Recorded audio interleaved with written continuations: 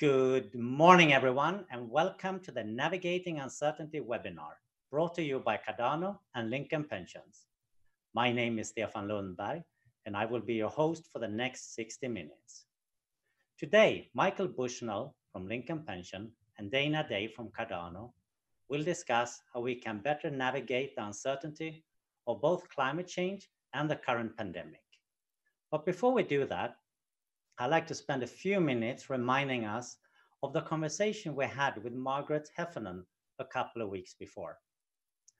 Her main point is that in most situations, we are faced with uncertainty, that the world is largely unpredictable since we adjust and adapt as the future unfolds. And we should not rely too much on models because this can make us willfully blind to the reality at best, models are tools that will help us organizing our thinking, that will help us to ask the right questions, but they should not be used for making decisions. Margaret's main point is that we don't know how the future will look like, so we should not plan for the future, but be prepared for it.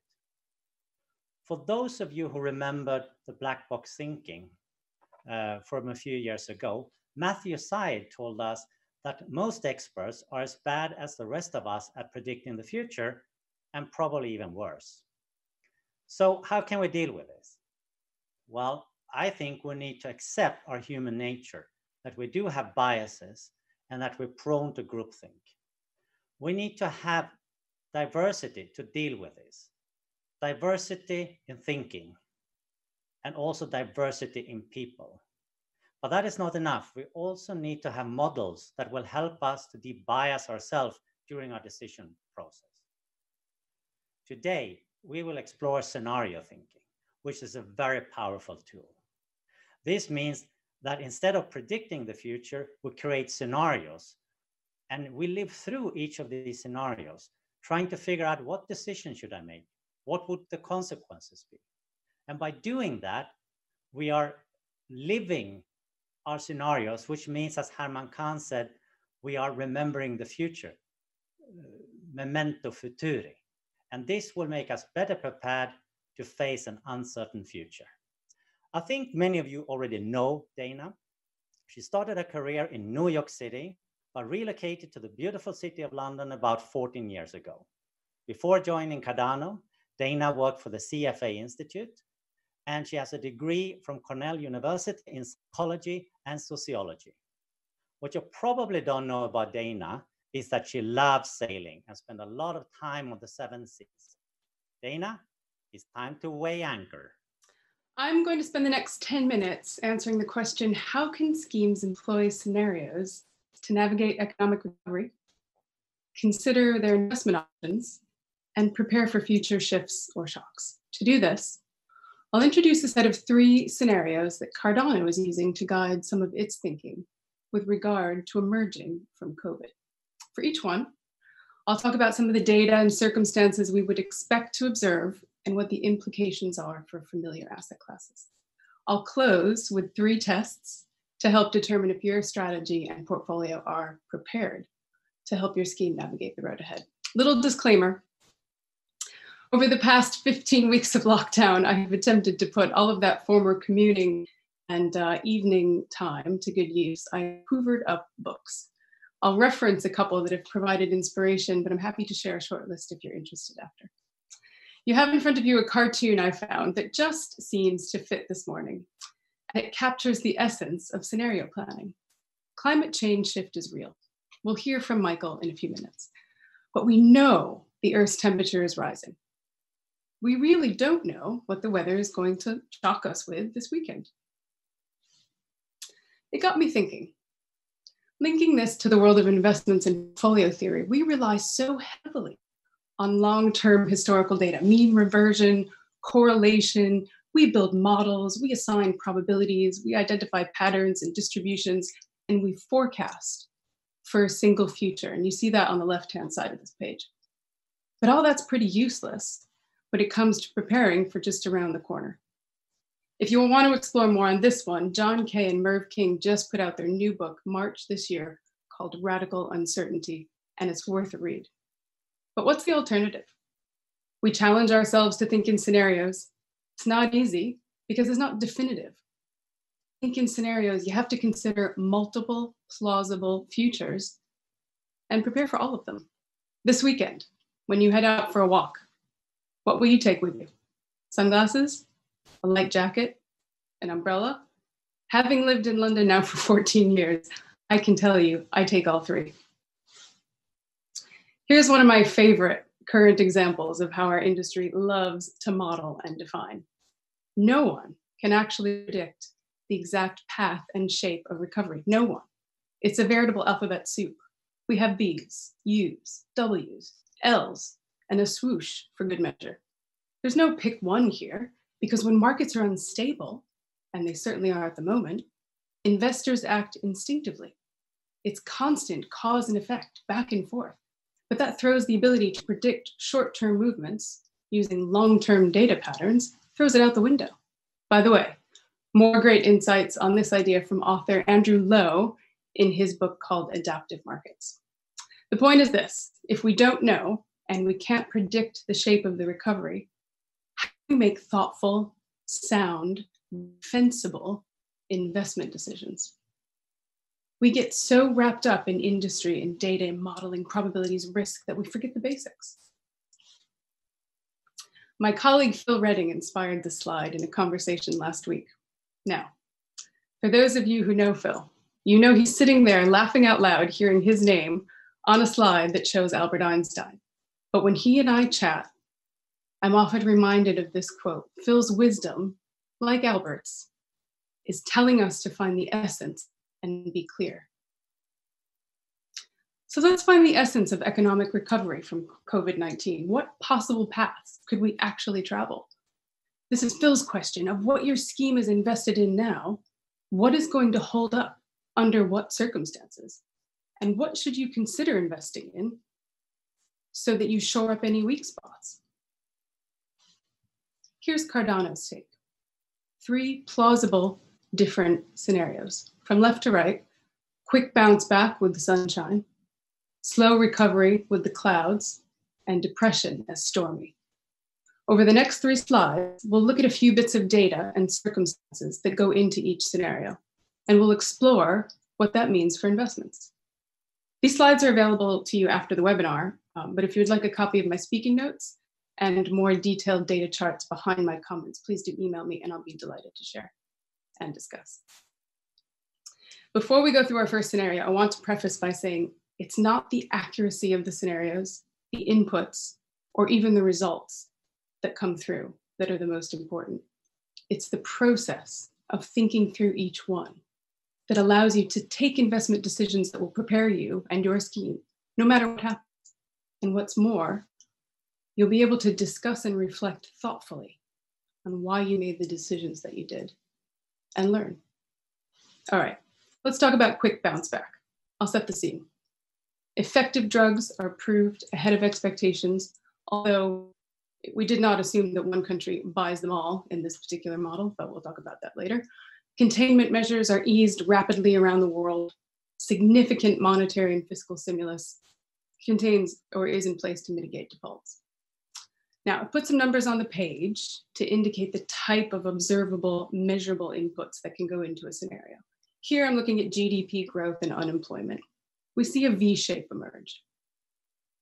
A couple characteristics here stimulus firmly in place. Investors are incentivized to buy risky assets. Rates remain close to zero, making equities attractive with high volatility.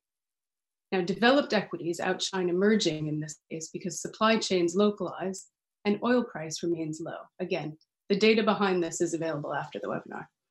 The gap between economic and fundamentals, economic fundamentals and markets widens, but investors perceive, perceive that stimulus will continue to sustain asset prices. Inflationary pressures build. That's the scenario.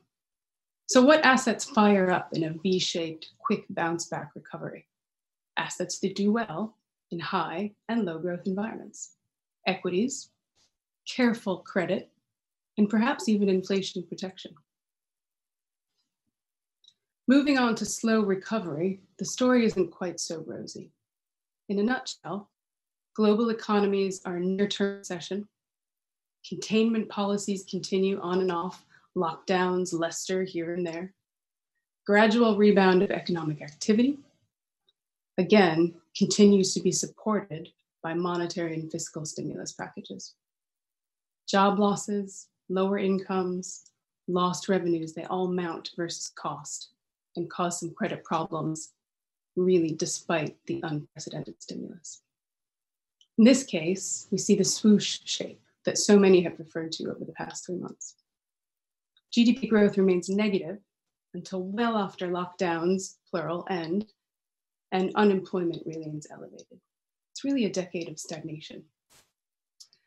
Considering investments, assets do well in low growth environments. They, they fire up here. These are really carefully selected corporate and high yield bonds and perhaps some high quality equities.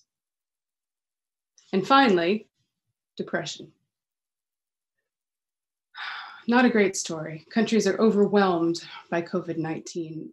Virus spread can't be contained, lockdown becomes untenable, global economies spiral into depression, deflation sets in, high debt uh, in both corporate, US corporates and European sovereigns cause a very deep recession with limited recovery. The dreaded L shape emerges. And considering investments, historically sound countries default on their debt. Stock markets fall, credit spreads widen, investors flee to gold, cash, short term government bonds, even accepting negative yields for an extended period. Put options on equities provide some protection. Now, the purpose of this scenario planning, like I said, is not to pick one, but instead to consider how to construct an investment strategy and portfolio that can handle any or all of them. So, what do we need to invest in to make sure we have assets that fire up no matter what comes our way? Well, we need genuine diversification, which not only includes the usual suspects, but a full, full toolkit that adds government bonds to the growth portfolio, downside equity protection, gold, inflation linked bonds. These things make sure the portfolio can handle elements of the slow recovery and depression scenarios.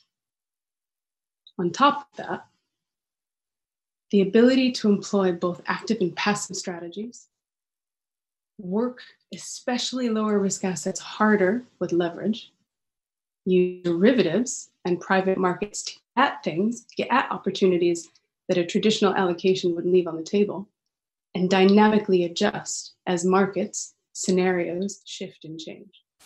Together, these leave a scheme prepared for whatever is waiting around that corner.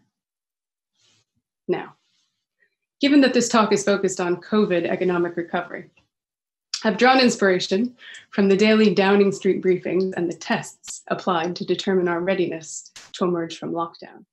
Here's my version. Here are three tests you can use to determine whether your investment strategy is ready to emerge and navigate the recovery. First, you're diverse.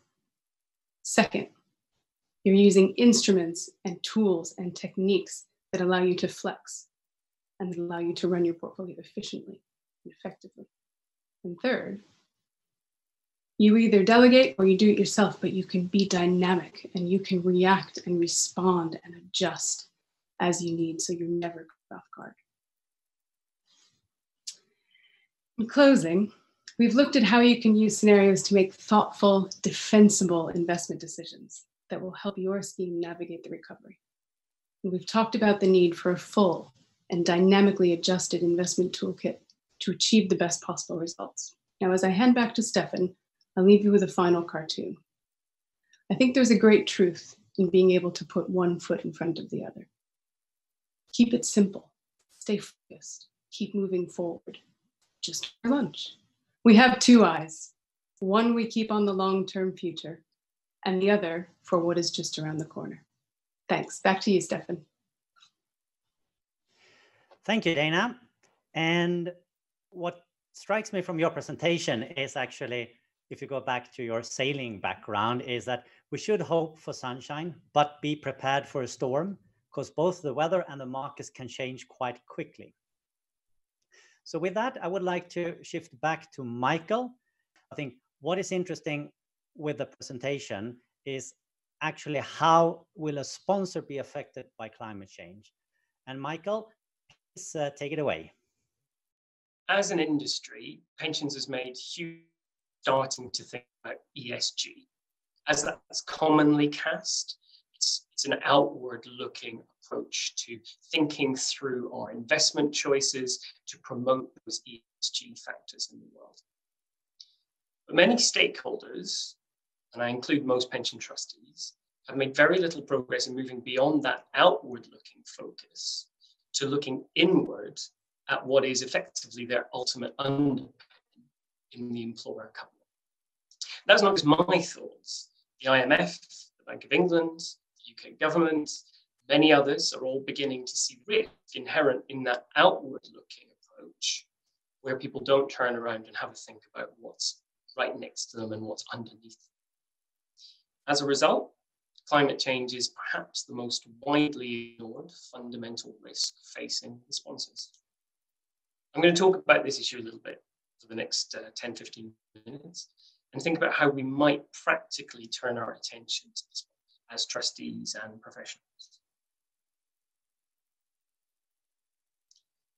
It's helpful to set this thinking in context. Why are we consistently ignoring such a fundamental issue? Why do we ignore any major issues? Willful blindness is quite an interesting concept here. There's many reasons for it, but I think in particular here we've got three in operation. The first is a lack of clarity around how climate change might impact our world or our society or how it might play out. It makes it really hard to start thinking through the problem. There's too much, too many alternatives.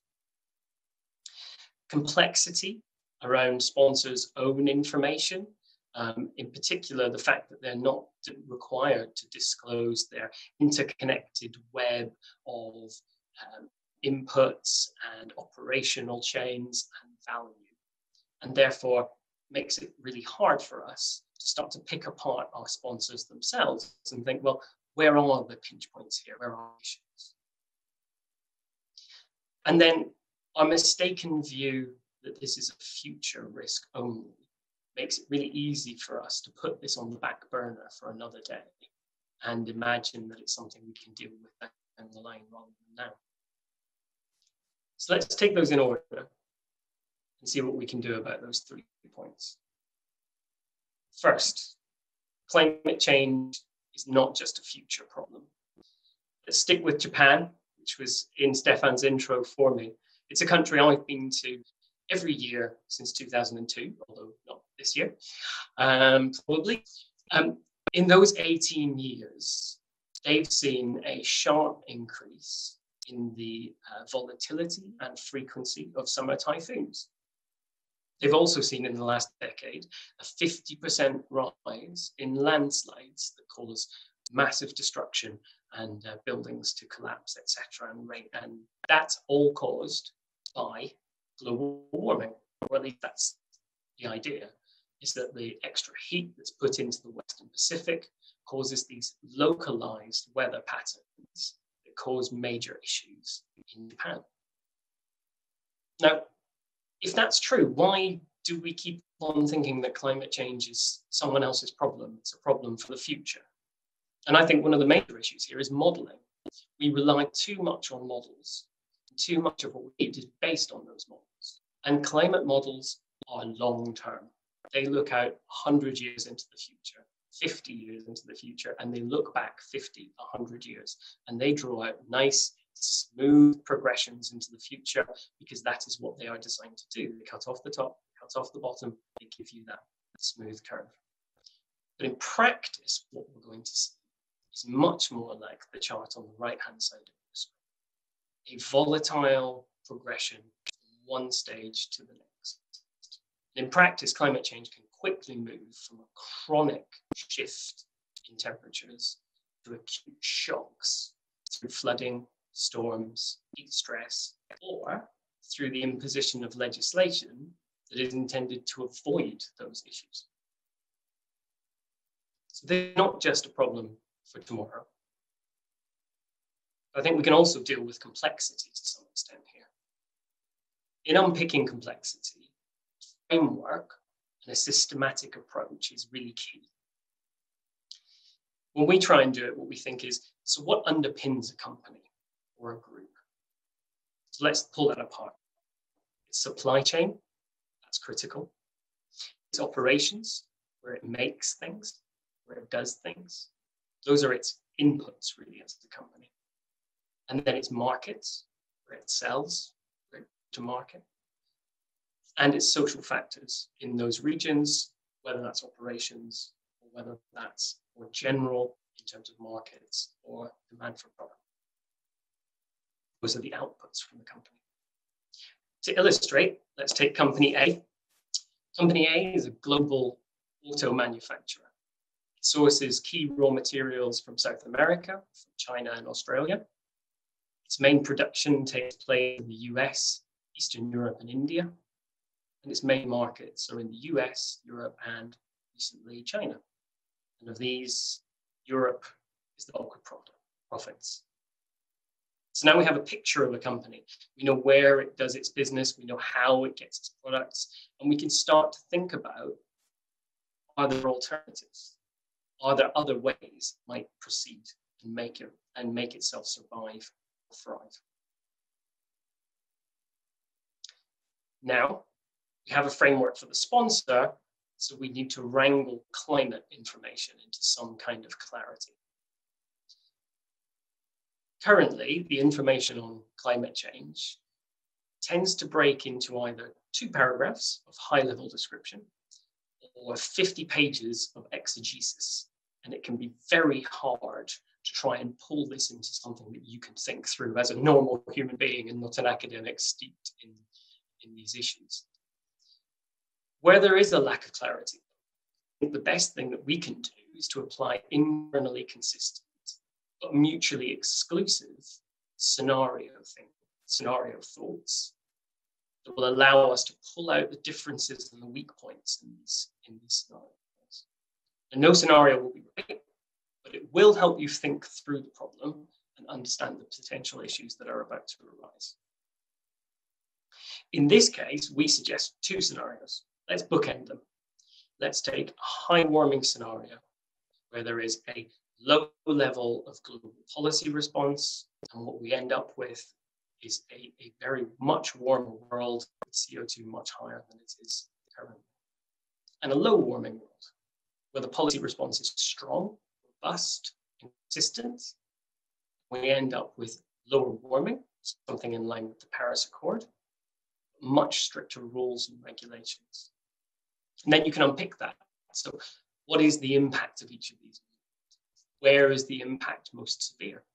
Is it uniform across the piece, or are there pockets where it is harder than others? Is it avoidable? Could you move?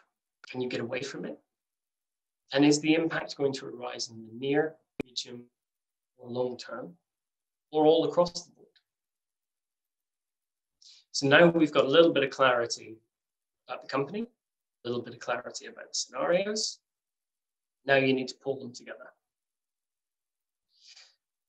At Lincoln, what we do is we have a bespoke model we built with academics to try and get here. However you do this is completely okay. The point is to try and start thinking through the problem. Here's my company. Here's where it's based. Here's my scenario. How are these two things coming together? And where are the stress points appearing? Bring this to life. Let's take company A again. So we talked about it before and its geographical spread. In the interest of time, we're just going to apply one of the two scenarios. We're going to do RCP 8.5, which is a high warming scenario here. Um, we can't take an hour to go through this as we would in a proper contingency planning workshop. Let's pick out some of the key thoughts here. So we're going to get material issues in production and delivery of raw materials in this scenario from, in particular, Australia and China, as they see extreme weather heat stress, and issues with shipping brought on by increased storms at sea. We're going to see negative impacts on manufacturing, particularly in Eastern Europe, which is exposed to drought and heat shock. We're going to see a high degree of social pressure in Europe in particular, which is a key region where people are more socially aware of issues, more to avoid. We're also going to see some negative impact in both the US and Europe on profits. We're going to see that as the economies there struggle to deal with these new heat stresses and the new world order that's brought on by those heat stresses. Is this scenario correct? Probably not. Is it based on the latest thinking we have? Yes. Does it help us think through those pressure points? I think it probably does. And then what do you do with that? Well, practical output from this has got to be joint planning. Most sponsors won't have done this. So for the trustee, the thought process is, do we need to worry? When are we going to be exposed to our covenant? Can we do something about it? Can we plan for it? Can we hedge against it? Can we work our investments more effectively to get around it? Or do we just need cash like we would for any other issue that we see on the horizon? And for the sponsor, how could they respond to these issues? Have they thought them through? Are they already responding? Have they demonstrated that they can be flexible in the past? Because that's key. Just saying we can change is not enough. There has to actually be the ability to change. And finally, what's the cost of not responding? Can we just leave it? Are both scenarios telling us we'll be okay either way? Can we just wait and see? Or would that leave it too late?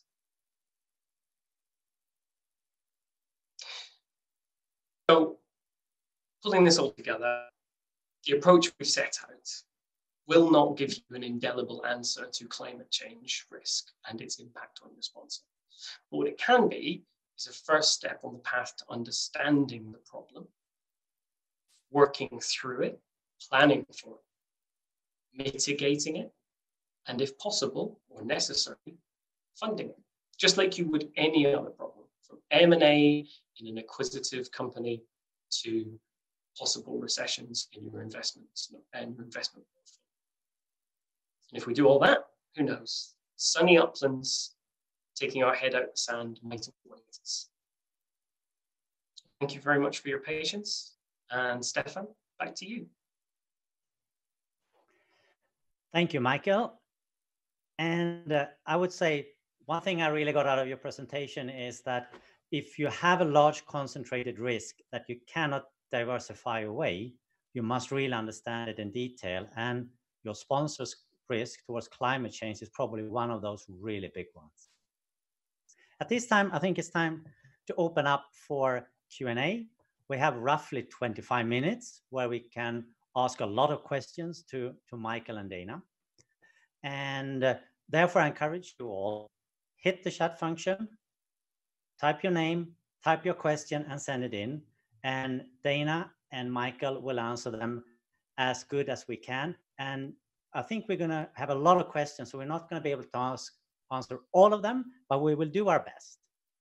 So let's start. I have a couple of questions here already, and this one is for Dana. It's from Richard.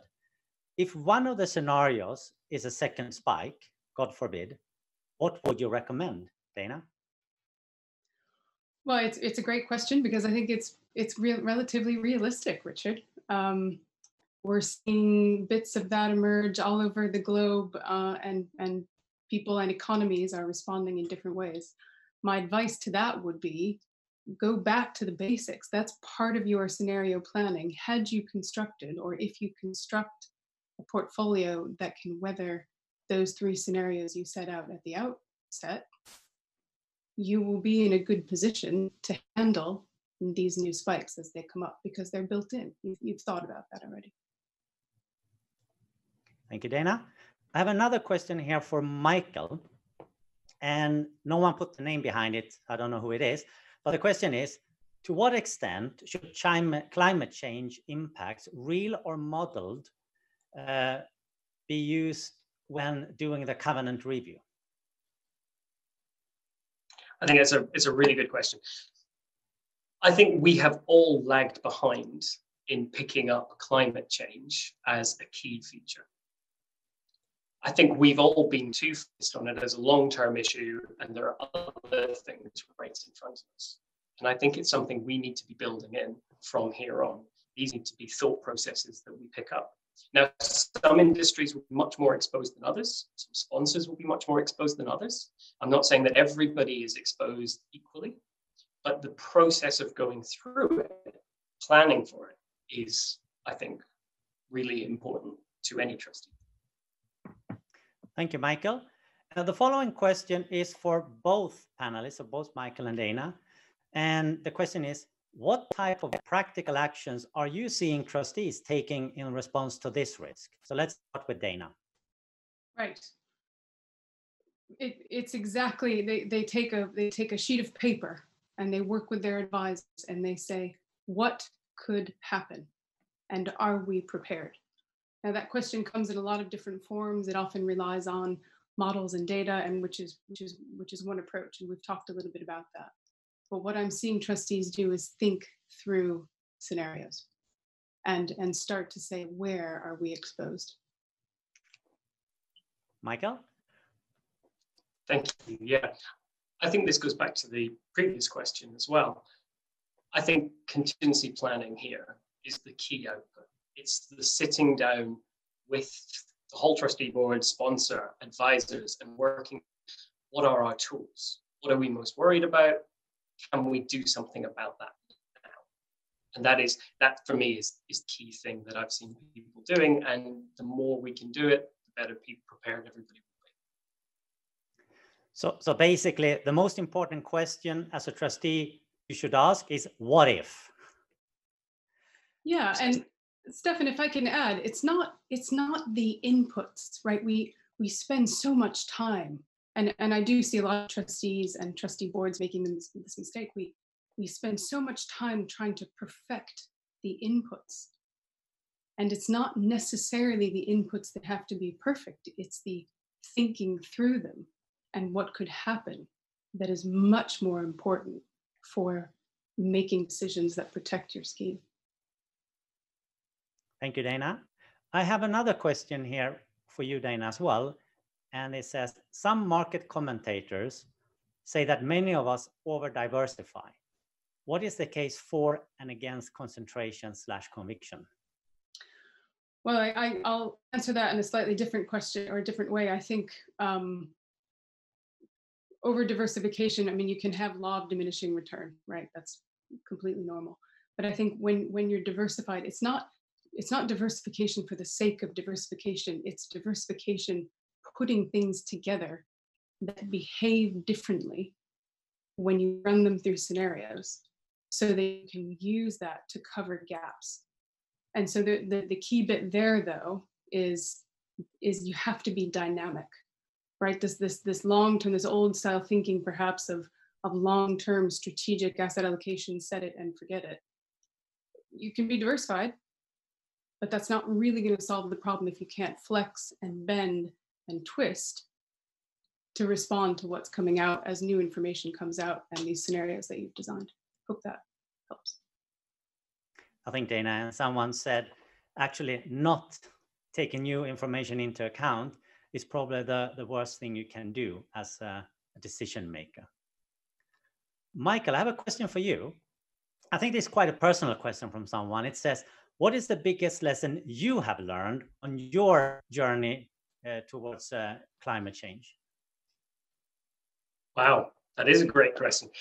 Um, the biggest, my biggest learning is that actually there is no clear answer available at this point.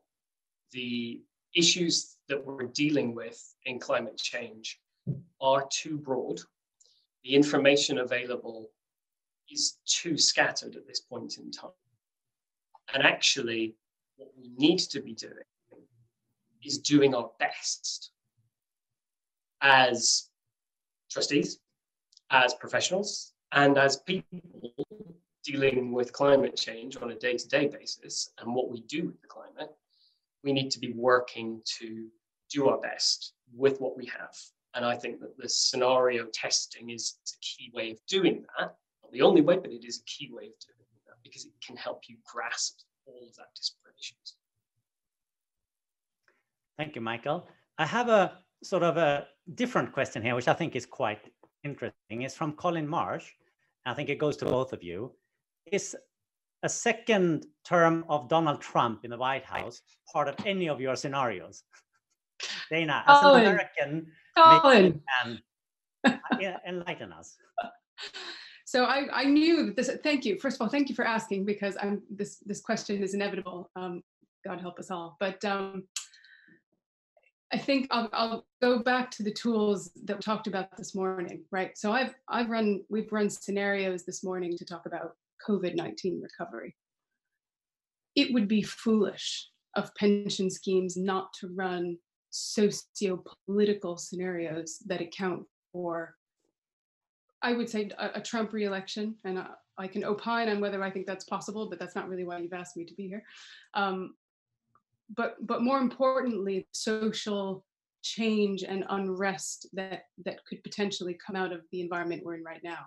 Right, we're in a really interesting pressure cooker. I put my psych hat on for a sec. Got people who've been in their homes, locked down with families for 15 weeks.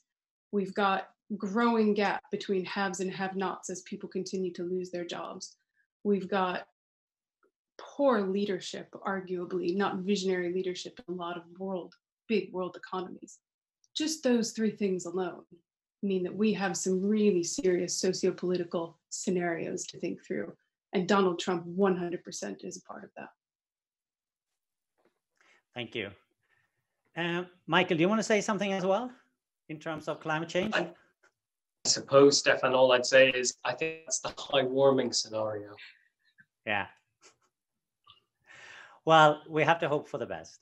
Um, there was a question here from someone uh, who said in Margaret Heffernan's webinar, she contrasted scenario planning with preparedness.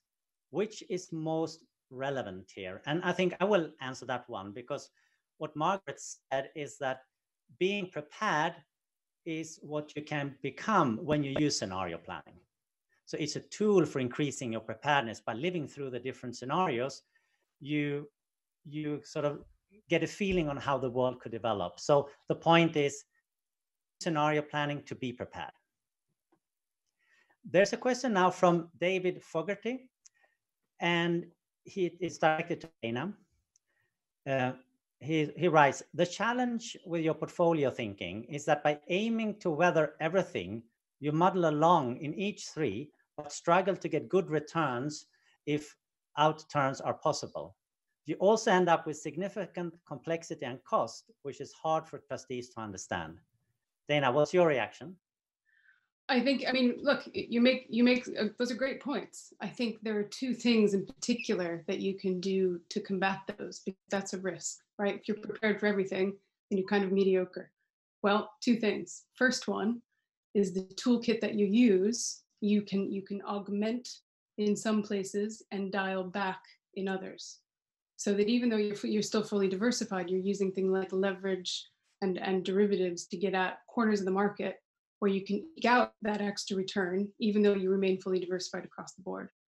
And then the second one, in terms of cost, that depends, right? If you find good um, sector and I should say technical expertise in, in the spaces of some of these instruments, then it's actually quite cost effective. What's more, is is the link between using derivatives and liquidity because what happens is you don't tie up your cash so you can actually put it to work harder and if you and if you and if you do that with a partner who has good counterparty relationships you do that it actually it's quite cost effective.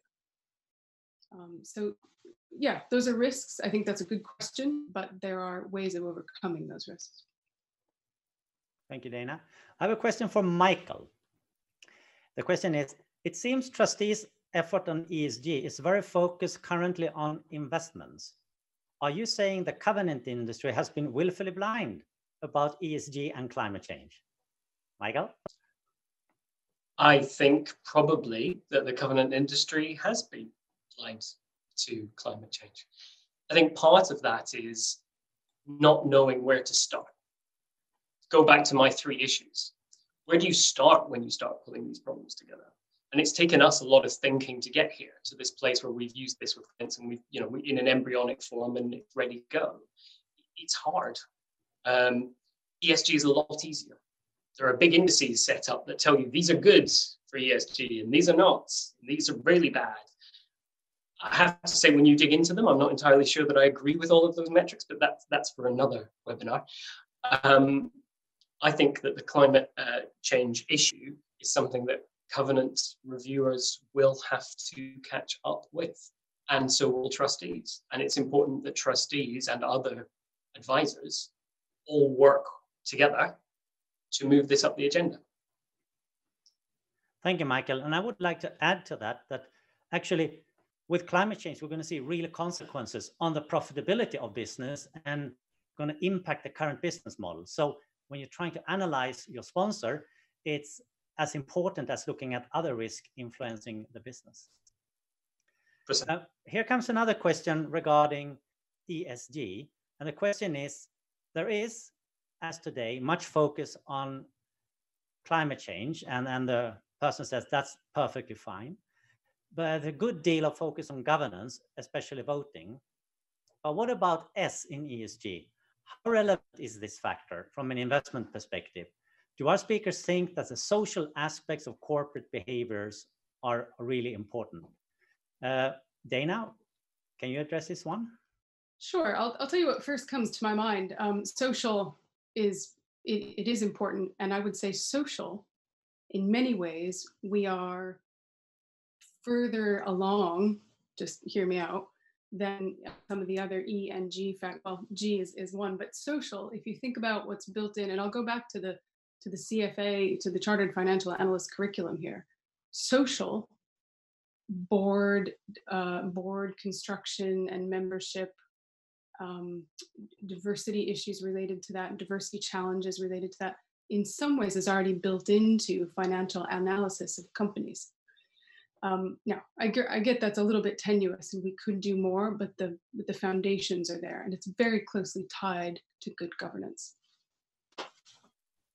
Thank you, Dana. If I can pick that up from a covenant perspective as well. Yeah, jump in. Thank you. Uh, from a covenant perspective, it's really interesting question because when you're a covenant assessor looking at an employer, you're you're almost agnostic about those social factors, except as they go to affecting the sponsor, because that's what we're asked to do. But that is an effect, and it does have to be taken into account. So, social demand for products, social standing of a company, whether it is whether it's whether it is you know something that people are going to buy or not, and how society views that type of company going forward are going to be key aspects of the long-term trends in the covenant. And if I can bring this to sort of a journey planning point, when you're looking at the furthest reaches of your journey plan and you're thinking about your end state, that's when these factors become super important because they are the ones that will determine the long-term performance when the near-term performance might be much more financially based, market based. So we do bring it in, do we bring it in as much as we might? I think we could probably expand that as well. I think we probably will as time goes on. Can I just say, um, Michael, that's a brilliant comment, and you've got me thinking. I think it's worth mentioning, hopefully, here, another book, forgive me, but um, brilliant, brilliant study of demographics and how they impact trade and economics, really tight story. It's called Disunited Nations by Peter Zeihan. And the gentleman who asked about the Trump reelection, um, this you, I think this is a great book for you. Um, you. You have to take it with a pinch of salt because it's quite U.S. centric, but man, it's it's a good it's a good read. Thank you for that tip, Dana. And here's another question which relates to the cost of ESG. And it says, ESG is often discussed as either cost or a question of mitigating risks. Is there a more bullish case to be made instead, where scenario or data insights actually points to opportunities? Dana, what's your view? Yeah, um, I, I have a chart in my head that I will happily share after, but if you look at just recent or even longer term performance of ESG indices versus non-ESG indices, you've got to follow the money. And, and ESG indices are gaining momentum. ESG friendly investment strategies are where people are, are investing. And so you'd be foolish not to, not to understand what's going on there. Use that dynamic. Thank you. I have another question here, which is going back to the pandemic. And it says, in United Kingdom, the National Risk Register has since 2008 put pandemic influenza as the highest relative impact risk and one of the higher relative likelihood. Why did more of us do not do the same, including many of our politicians and civil servants, and I would add investors? Uh, Dana? I have a flippant answer. Um, my flippant answer is why do people still smoke? Why do they still eat cheeseburgers for breakfast, lunch, and dinner? Um, we are really good at, as humans at being making decisions around short-term risks and challenges we can see, feel, taste, hear. We are terrible at making long-term strategic decisions. So when when you know risk register after risk register pandemics show up, we can't see it. Is it really there? That's again, I'll go back to scenario planning. That's why running these things through scenario and saying, well, yeah, it could happen. We don't think it's going to, but let's be prepared. And I would add to that, Dana, that in uh, many cases, being prepared is also going to cost inefficiency because it means you can deal with things that you hadn't foreseen and it requires a bit of fat in the system. And the more we become lean, mean, and efficient, the bigger is the risk that we also be hit by something unexpected. Indeed. I think our time is. Michael has a comment. Oh, Michael, please go ahead. One second, which is just to say that from an employer covenant perspective, that's often the argument that we are in for the trustees with the sponsor. Efficiency versus protection, security, and fat in the system. And that's what we're trying to go for. But a lot of sponsors would rather have the efficiency. When you go through one of these shocks, you see why we push for these protections. So basically, you're saying a management, a good management actually look at both short term and long term, and not just over prioritize one of them. And and just one more. Precisely. Dana, go ahead. One more for me, and I, I think David answered or asked this question earlier about diversification and giving up some of the upside, I think one could argue that a slow, you know, from an investment perspective, a slow, consistent, reliable string of returns, even if even if slightly lower than hey shooting the sky out, is much more effective at getting a scheme to where it wants to be long term than kind of the, the interim yo-yo. One one could argue, and that's and that's really that that efficiency versus preparedness trail. Thank you, Dana. I have a final question, uh, and that is to both of you.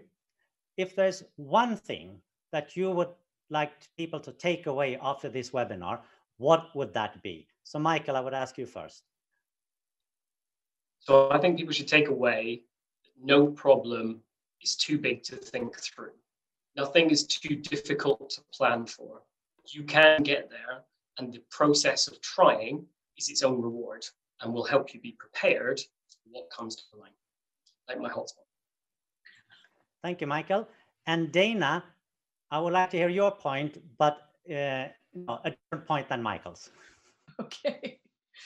Um, after the webinar finishes, grab a blank sheet of paper, put down three scenarios that you want to think about, whether they're sociopolitical, climate change, COVID recovery, not not fussed, and then use that as a way to sift and sort through. I don't know about you all, but I get I get more emails about webinars and blogs and chats and articles every day about all of these topics. Use that as a way to sift the information that comes in, sort them into scenarios, and then sit down as a, as a trustee board and say, let's let's try and process some of what we're hearing from the experts and, and figure out how to use it ourselves. Okay, I think it's time for wrapping up. And I would like to thank both Michael and Dana for sharing these important thoughts with us. So I give you a big applause. Needless to say, if you in the audience have any further questions or your question wasn't answered uh, in this Q&A session, or you want to know how resilient is my scheme with respect to climate change and pandemics, please do not hesitate to contact either Michael or Dana directly. Finally, I would like to thank all of you on behalf of Cardano and Lincoln Pensions for spending your precious time with us today. We hope to see you soon, and more importantly, stay safe. Thank you.